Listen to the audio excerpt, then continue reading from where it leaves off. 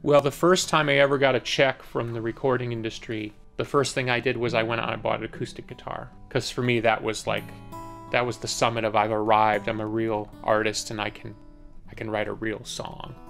As anybody who knows who plays acoustic instruments, there's a real intimacy there that how you play is more in line with the way you feel. For example, if you take a song like Tonight Tonight, it's all in the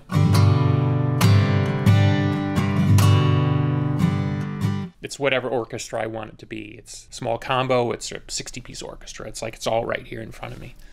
Most things on guitars really don't change the sound. I mean, yeah, 2%, fine. But I mean, I'm interested in really radical change that you would notice night in, night out, and you would say, because of that, all these other things are now allowed to happen. And I did notice when we put in the brass pins, there was a different sort of harmonic structure in the guitar that was brought forth. There was more sort of upper mid harmonics and again, in a live situation, that really does translate through to the audience.